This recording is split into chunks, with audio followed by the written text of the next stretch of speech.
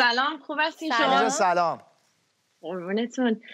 من خلاصش می‌کنم اولا. ببخشید اگه فارسیم خیلی خوب نیست لطفا خیلی هم عالیه فارسی. اون وسط. کلا جونم. نازنین جون می‌خواستم بپرسم ازت که خب هممون الان یه نگرانی خاصی داریم. ترس و وجودمونه احساسمون مبهمه. چرا؟ دلیلش چیه؟ ببینید ما کلا نه فقط من و شما ولی تو کل دنیا هممون داریم یه تجربه از دست دادن رو داریم می‌کنیم. الان ما خیلی روتین که میشه فکر کنم کارهای روزمهرمون رو از دست دادیم. مثلا بریم سر کار. شیوای زندگیمون دقیقا همه اینا رو از دست دادیم و اون استرابی هم که داریم در کنار از دست داد احساس در از دست دادن رو می‌کنیم این در کنار اینه که ما دیگه کنترل یا نالج اطلاعات راجع به اتفاقای آینده نداریم.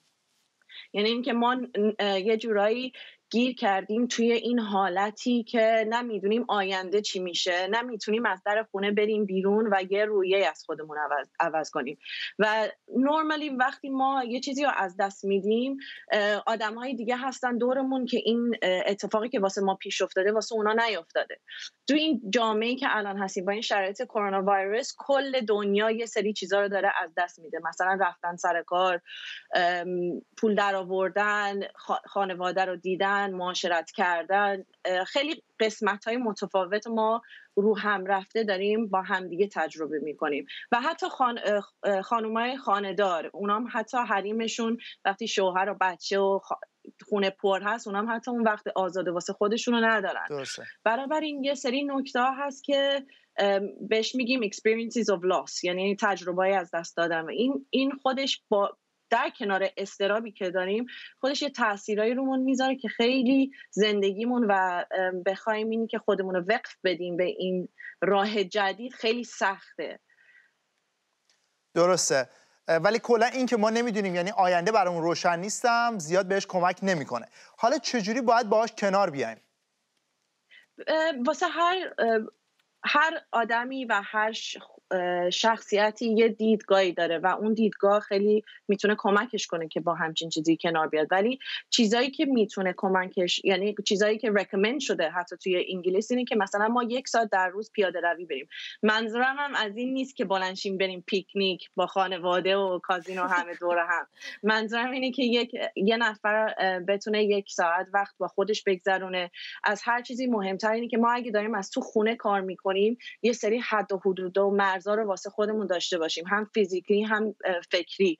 یعنی چی؟ یعنی اینکه اگه من دارم امروز از خونه کار می‌کنم این نباشه که از تو اتاقم میام میرم توی بغل دست تختم میشینم درس می‌خونم یا میشینم کار می‌کنم. اینه که ما واسه تو خونمون حد و حدود مرز بذاریم.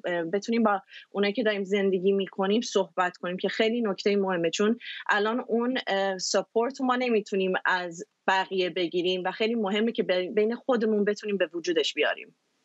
درسته. من یه سوال ازت بکنم در مورد خودم بیشتر. یعنی فکر می‌کنم شاید خیلی دیگه هم باشن که سوالش این من باشه. وقتی که ویروس کرونا شروع شد دیگه بعد توی این یه ماه و نیم اخیر دیگه جدیتر شدی مسئله. من خودم الان فکر کنم یک ماه یک ماه و نیم احساس کنم نفسم بالا نمیاد. یعنی همش بله. توهم می‌زنم. میگم آره نکنه نفسم تنگه. هی امتحان می‌کنم که ببینم درست نفس می‌کشم. چه راه حلی برا من داری؟